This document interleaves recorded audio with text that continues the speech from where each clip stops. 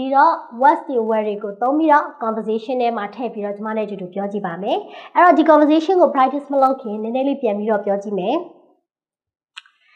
lesson 1မှာသင်ရတဲ့ BEB BEB ရဲ့လက်ရှိကာလကိုပြောကြည့်ရင်၃ခုခွဲထွက်တယ် M is R ဒါပေမဲ့ကျမတို့လုပ်ခဲ့တဲ့ action တွေအပြုတ်အမူတွေကအတိတ်ကပြီးဆုံးခဲ့တယ်ဆိုရင် BEB ရဲ့အတိတ်ကာလ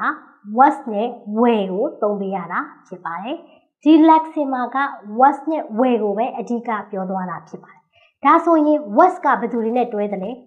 I was he was she was it was ဒါဆိုရင် were အများကိန်းကိုကိုစားပြုတယ် were were ကဘယ်သူတွေနဲ့တွဲလဲ we you they we were you were they were good let's try this the conversation okay a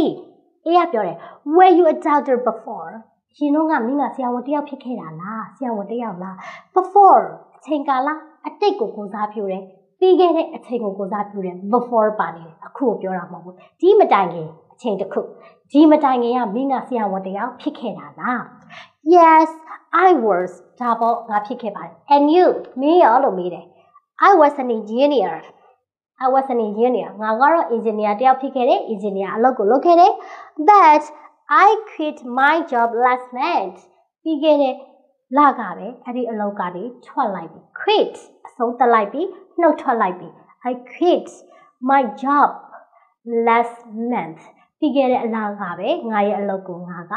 ထွက်လိုက်တယ်ဆိုတော့ဒါဆိုသူ့အလုပ်ထွက်လိုက်ပြီဆိုအခုသူကဒီ company မှာဒီရုံးမှာသူက engineer တရားမဟုတ်တော့ဘူးပေါ့ဒါဆိုရင်ကသူဖြစ်ခဲ့တာပြီးခဲ့တဲ့လကသူကဖြစ်ခဲ့တာ engineer ဒါကြောင့်မလို့ဒီမှာ was အရင်တော့ကမင်းရဲ့အလုပ်ကိုင်ကိုမိတယ် were တခါတော့ကျွန်မလည်းဒီလိုပြောကြည့်မယ် were you a doctor before yes i was and you i was an engineer but i quit my job last month okay ဒါလေးကဘာ question လဲ were you a doctor before yes or no question ဆိုရင်ကျမတို့ဘာ answer ပေးရမလဲ short answer အဖြေတူတူလေးကိုပေးရမယ် short answer က yes i was မင်းရောဆိုတော့ and you အဲ့တော့ကိုယ့်အလုပ်ကရင်တော့ပြောမယ် I was an engineer but I quit my job last month ပြီးခဲ့တဲ့လကထွက်လိုက် Okay ကျမနဲ့တူတူတစ်ခါလောက်ဆိုကြည့်ပါဦး Were you a doctor before Yes I was and you I was an engineer but I quit my job last month Good Now please look at the next slide Here is conversation 2 Okay ဒီ conversation မှာ A နဲ့ B နဲ့ဘာတွေပြောကြလဲဆိုရင် A ကပြောလိုက်တယ် Did you go to the cinema yesterday? Yesterday. Yesterday. Yesterday. အတိတ်ကာလကိုကိုစားပြုတယ် yesterday မနေ့က yesterday means သူရဲ့အဓိပ္ပာယ်ကမနေ့က မနေ့က did you go to the cinema နေရုပ်ရှင်သွားကြည့်ခဲ့လားရုပ်ရှင်ကိုသွားခဲ့လားရုပ်ရှင်သွားကြည့်ခဲ့လားပေါ့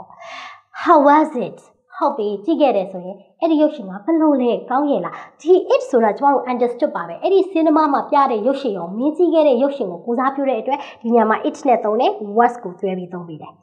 yeah it was great yes ဒါပေါ့ it was great အရင်ကောင်းတာပဲအဲ့တော့ A ကကျေနပ်တာပေါ့ဦးကောင်းတယ်ဆိုတော့တော်သေးတာပေါ့ nice like this Okay, that's one attitude practice Did you go to the cinema yesterday? How was it? Yes, it was great. Nice. Good. Let's read out together one more time. Did you go to the cinema yesterday? How was it? Yes, it was great. Nice. Good.